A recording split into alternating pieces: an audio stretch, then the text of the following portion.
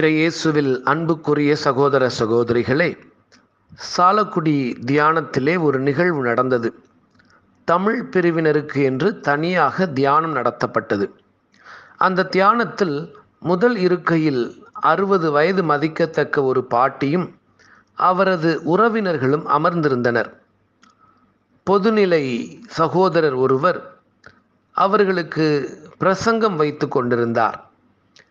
அவரது பிரசங்கத்திற்கு அந்த பாட்டி நன்றாக தூங்கிவிட்டது. தலையை மேலே வைத்தும் கீழே தொங்கவிட்டும் தூங்கிக் கொண்டிருந்தது. பொதுநிலை சகோதரர் செய்தி கொடுத்து முடித்த பின்பு ஒரு துறவுநிலை சகோதரி செய்தி கொடுத்தார். அப்பொழுது இந்த பாட்டிக்கு விழிப்பு ஏற்பட்டது.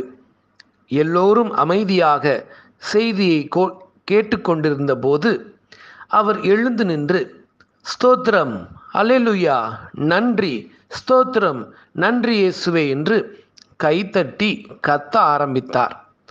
அருகில் இருந்தவர்கள் ஏன் பாட்டி என்ன ஆச்சு? ஏன் இப்படி செய்கிறீர்கள்? என்று கேட்க அதற்கு அந்த பாட்டி உங்கள் கண்ணு என்ன அவிஞ்சா போயிடுச்சு? பாருங்கடி ஆவியானவரின் அதிசயத்தை அஞ்சு நிமிஷத்துக்கு முன்னாடி ஆம்பளையா இருந்தவர் இப்ப பொம்பளையா மாறிட்டா என்று சொல்லி மீண்டுமாக அல்லிலுயா ஸ்தோத்திரம். நன்றி இயேசுவே நன்றி இயேசுவே என்று குதித்து துதிக்க ஆரம்பித்தாராம். அன்புக்குரியவர்களே தூய ஆவியார் ஆணை பெண்ணாக மாற்றுவாரா? அல்லது பெண்ணை ஆணாக மாற்றுவாரா என விவாதிக்க வேண்டிய நேரம் இது இல்லை. ஆனால் மனிதருடைய தீய சிந்தனைகளை நற்சிந்தனைகளாக மாற்றுபவர். தீ சொற்களை நற்சொற்களாக மாற்றுபவர். துற்செயல்களை அகற்றி நற்செயல்களை செய்ய தூண்டுபவர். கெட்ட நடத்தைகளை நன்னடத்தையாக மாற்றுபவர். உலர்ந்த எலும்புகளை உயிருள்ள மனிதராக மாற்றுபவர். தீய மனதை தூய மனதாக மாற்றுபவர். கல்லான இதயத்தை கனிவான இதயமாக மாற்றுபவர் என்பது மட்டும் உறுதி. ஆற்றலாலும் அல்ல சக்தியாலும் அல்ல. ஆண்டவரின் ஆவியாராலே ஆகும் என்பதற்கு இன்று நாம் கொண்டாடும் பெந்தகோஸ்தே திருவிழா அல்லது தூய ஆவியாரின் பெருவிழா சான்றாகும். அன்று திருத்துதர்கள் எவ்வாறு ஆவியாரால் ஆட்கொள்ளப்பட்டார்களோ அதுபோல நாமும் ஆவியாரால் ஆட்கொள்ளப்பட்டு எல்லா வரங்களாலும் கனிகளாலும் கொடைகளாலும் நிரம்பி ததும்ப தூய ஆவியாரின் பெருவிழா இன்று நமக்கு அழைப்பு தருகிறது. அன்புக்குரியவர்களே தூய ஆவியாரால் ஆட்கொள்ளப்படுவதற்கு முன்பாக இத்தூய ஆவியார் யார் என்று நாம் தெரிந்து கொள்ள வேண்டும். தூய ஆவியார் என்பவர் தூய தம திருத்துவத்தின் மூன்றாம் ஆளாக இருக்கிறார். தந்தையாகிய கடவுளிடம் இருந்தும் மகனாகிய கடவுளிடம் இருந்தும் புறப்படும் நித்திய முடிவில்லாத அன்பாக அவர் இருக்கிறார். இறை தந்தையோடும் இறை மகனோடும் ஒன்றாக ஆராதனையும் மகிமையும் பெறும் இவர் ஆண்டவராகவும் உயிரளிப்பவராகவும் இருக்கின்றார் என திரு அவையின் மறைக்கல்வி நமக்கு போதிக்கிறது. விவிலியத்தில் பல்வேறு நிகழ்வுகள் மூலம் தூய ஆவியார் எவ்வாறு உயிரளிப்பவராக இருந்தார் என்பதை நாம் அறிந்து கொள்ள முடியும். பழைய ஏற்பாட்டில் படைப்பின் தொடக்கத்தில் நீரின் மீது அசைவாடி கொண்டிருந்த ஆவியானவர் உயிர்களை எல்லாம் படைக்கிறார். மனிதரையும் படைக்கிறார். மனிதரை படைத்து தன் உயிர் மூச்சை ஊதுகிறார். மனிதன் உயிருள்ளவன் ஆகிறான். பல இனங்களை வாழ வைக்கிறார். இஸ்ரேல் இனத்தையும் வாழ வைத்தார். இஸ்ரேல் மக்களினத்தை வழிநடத்திய ஒவ்வொரு நீதித்தலைவர்கள் மீதும் இறைவாக்கினர்கள் மற்றும் அரசர்கள் மீதும் இருக்கிறார்.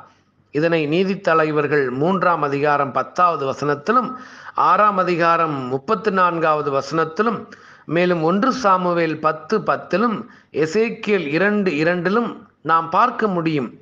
ஆண்டவரின் ஆவியார் கிதியோன் தெபோரா போன்ற சிறிய குளங்களை சார்ந்த தலைவர்கள் மேல் இருந்ததால்தான் அவர்களால் மிகப்பெரிய இனங்களையும் வெற்றி கொள்ள முடிந்தது. தாவீது அரசரிடமும் சாலமோன் அரசரிடமும் ஆண்டவரின் ஆவியார் குடிகொண்டிருந்ததாலேயே அவர்கள் மிகச்சிறந்த அரசர்களாக திகழ்ந்தார்கள். புதிய ஏற்பாட்டில் அன்னை கன்னிமரியா சக்கரியா எலிசபெத்து யோவான் சிமியோன் போன்றவர்கள் தூய ஆவியாரால் ஆட்கொள்ளப்பட்டதையும் திருமுழுக்கு யோவானிடத்திலும் நம் ஆண்டவர் இயேசுவினிடத்திலும் தூய ஆவியார் குடிகொண்டிருந்தார் என்பதையும் நாம் விவிலியத்தில் வாசிக்கிறோம்.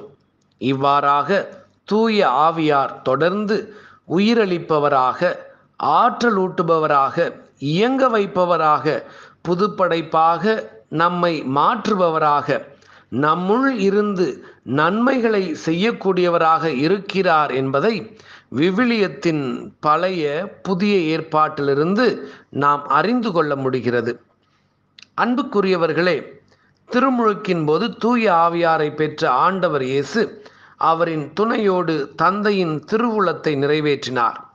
தாம் இவ்வுலகில் ஆற்றி வந்த மீட்பு பணி உலகம் முடியும் வரை தொடர்ந்து நடைபெற வேண்டும் என்று விரும்பிய நம் ஆண்டவர் இயேசு தூய ஆவியாரை அனுப்புவதாக வாக்களித்தார். அதன்படி விண்ணகம் சென்ற பத்தாம் நாள் அதாவது பெந்தகோஸ்து என்னும் நாளில் தூய ஆவியாரை அனுப்பினார். சீடர்கள் கூடியிருந்த வீட்டில் ஆவியானவர் கொடுங்காற்றாய் நுழைந்து நெருப்பு போன்ற பிளவுற்ற நாவுகள் வடிவில் ஒவ்வொருவர் மேலும் வந்து அமர்ந்தார். அந்நேரத்தில் சீடர்கள் அனைவரும் தூய ஆவியாரால் ஆட்கொள்ளப்பட்டனர். தூய ஆவியாரின் தூண்டுதலால் ஒவ்வொருவரும் வெவ்வேறு மொழிகளில் பேசத் தொடங்கினர். வானிலிருந்து வந்த ஒளியை கேட்டு திரண்ட பல்வேறு நாட்டு மக்கள் அவரவர் சொந்த மொழிகளில் கடவுளின் மாபெரும் செயல்களை சீரர்கள் உரைக்க கேட்டு வியந்து நின்றனர். பாபேலில் மொழி குழப்பம் ஏற்பட்டு மக்கள் சிதறுண்டனர். ஆனால் இங்கு வெவ்வேறு மொழிகளில் பேசினாலும் பல்வேறு நாடுகளிலிருந்து வந்தவர்கள் அவரவர் தாய்மொழிகளில் புரிந்து கொள்ளும் வகையில் ஒன்றாக்கப்பட்டனர். யூதர்களுக்கு பயந்து நடுங்கி மறைந்து வாழ்ந்த இயேசுவின் சீடர்கள் தூய ஆவியாரால் ஆட்கொள்ளப்பட்ட பின் துணிச்சல் மிக்கவர்களாக உயிரோட்டம் மிக்கவர்களாக கடவுளின் மாபெரும் செயல்களை அறிவிக்கக்கூடிய நற்செய்தியாளர்களாக மாற்றப்பட்டதையே இன்றைய முதல் வாசகம் நமக்கு எடுத்துரைக்கிறது. இன்றைய நற்செய்தியில் ஆண்டவர் இயேசு யூதர்களுக்கு அஞ்சி கதவுகளை மூடி மறைந்திருந்த சீடர்களுக்கு நடுவில் தோன்றி அமைதி உரித்தாகுக என்று சொல்லி தன்னுடைய கைகளையும் விழாவையும் காண்பித்த பின்னர் சீடர்கள் மேல் ஊதி தூய ஆவியை அவர்களுக்கு பொழிகிறார். தொடக்க நூலில் கடவுள் மண்ணிலிருந்து மனிதனை படைத்து அவன் நாசிகளில் தன் உயிர் மூச்சை ஊதி உயிரளித்தது போல ஆண்டவர் இயேசு தம் சீரர்கள் மேல் ஊதுவதன் மூலம் சீரர்களுக்கு புத்துயிர் அளித்து அவர்களை புதுப்படைப்பாக்குகிறார்.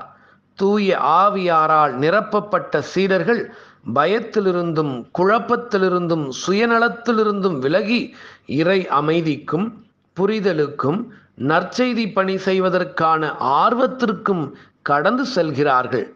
தூய ஆவியானவரை பெற்றவர்கள் பாவங்களை முழுமையாக மன்னிக்கக்கூடிய இயேசுவுக்கே உரித்தான அதிகாரத்தையும் பெற்றுக்கொள்கிறார்கள்.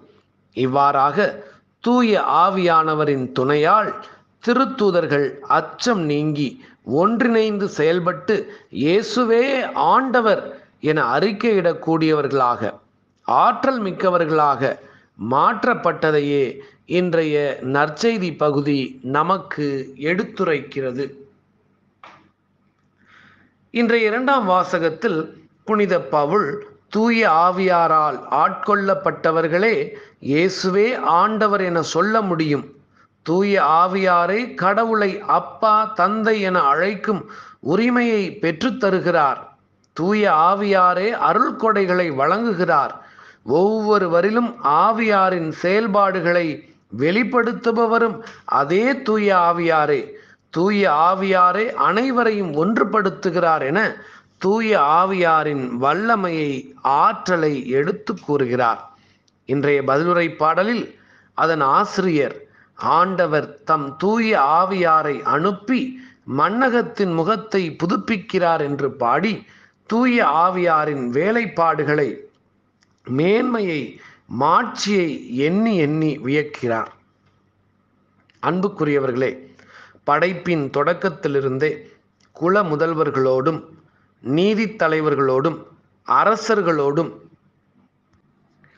இறைவாக்கினர்களோடும் மீட்பராம் இயேசுவோடும் திருத்தூதர்களோடும் இன்று திரு அவையோடும் வியத்தகு முறையில் செயலாற்றுகின்ற செயலாற்றிய தூய ஆவியார் இன்று நம்மோடும் செயலாற்றி கொண்டிருக்கிறார். நம் அனைவரையும் அனைத்தையும் வழிநடத்தி புனிதப்படுத்தி வளரச் செய்து கொண்டிருக்கிறார். அந்த தூய ஆவியாருக்கென்று புறா காற்று நெருப்பு போன்ற அடையாளங்கள் இருப்பினும் அவரை நம்முடைய கண்ணால் காண முடியாது. நம் ஒவ்வொருவரின் சொல்லும் செயலும் வாழ்க்கை முறையுமே நமக்குள் குடிகொண்டிருக்கும் தூய ஆவியாரை மற்றவர்கள் பார்க்க செய்கின்றன. தூய ஆவியாரே ஒருவருக்கு நற்கொடைகளை அளிக்கிறார். நம் சொல் செயல் நடத்தையில் அவருடைய நற்கொடைகள் வெளிப்படுகின்ற அளவிற்கு நம்முடைய வாழ்க்கை முறை இருக்க தூய ஆவியாரை நோக்கி நாம் ஒவ்வொருவரும் மன்றாட வேண்டும். தூய ஆவியே துணையாக வருவீர். இயேசுவின் சாட்சிகளாய் எம்மை மாற்றிடுவீர் என்று ஜெபிக்க வேண்டும். அன்புக்குரியவர்களே ஆயிரத்தி தொள்ளாயிரத்தி தொன்னூற்று இரண்டாம் ஆண்டு பார்சிலோனாவில் நடைபெற்ற ஒலிம்பிக் போட்டியில் இங்கிலாந்து நாட்டை சார்ந்த டெரேக் ரெட்மாண்ட் கலந்து கொண்டு ஓடிக்கொண்டிருந்தார். அவர் ஓடிக்கொண்டிருந்த பொழுது திடீரென்று அவரது தொடை எலும்பில் சதைப்பிடிப்பு ஏற்படுகிறது. நரம்பு சுருண்டு கால் இழுத்து கொள்கிறது. அவர் கீழே விழுகிறார். இனி ஓட முடியாது என்று நினைத்த டெரேக் ரெட்மாண்ட் போட்டியிலிருந்து விலகி அழுது கொண்டே வெளியே வர முயற்சித்தார். அப்பொழுது டெரேக் ரெட்மாண்டின் தந்தை வேகமாக சென்று டெரேக் ரெட்மாண்டை கைத்தாளங்களாக தூக்கி கொள்ள இருவரும் சேர்ந்து போட்டியின் எல்லை கோடுகளை அடைய அவரை உற்சாகமூட்டினார். இறுதியில் இருவருமாக சேர்ந்து பந்தய தூரத்தை அடைந்து பரிசினை வென்றார்களாம்.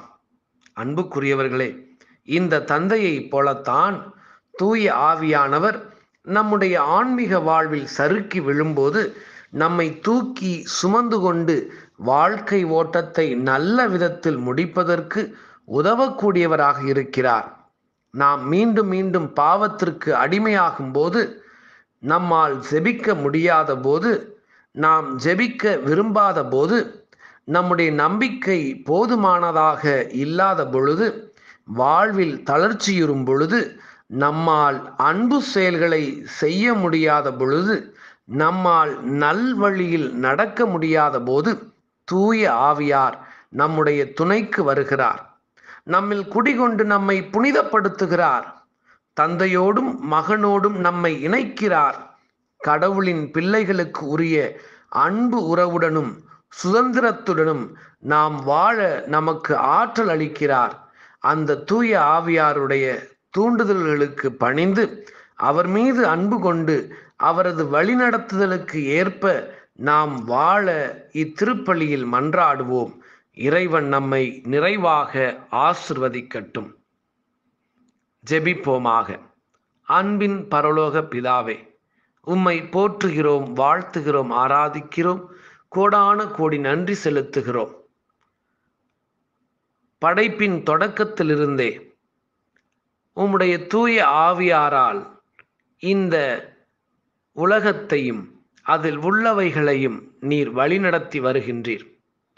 படைப்புகளில் மிகச்சிறந்த படைப்பாக நீர் எங்களையும் படைத்திருக்கின்றீர்.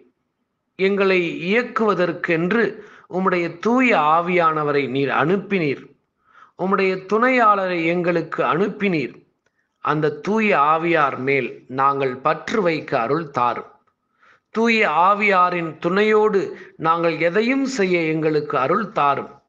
தூய ஆவியாரின் துணையோடு எங்களுடைய கல்லான இதயத்தை கனிவான இதயமாக்கும். எங்களுடைய தீய சிந்தனைகளை தூய சிந்தனைகளாக மாற்றும்.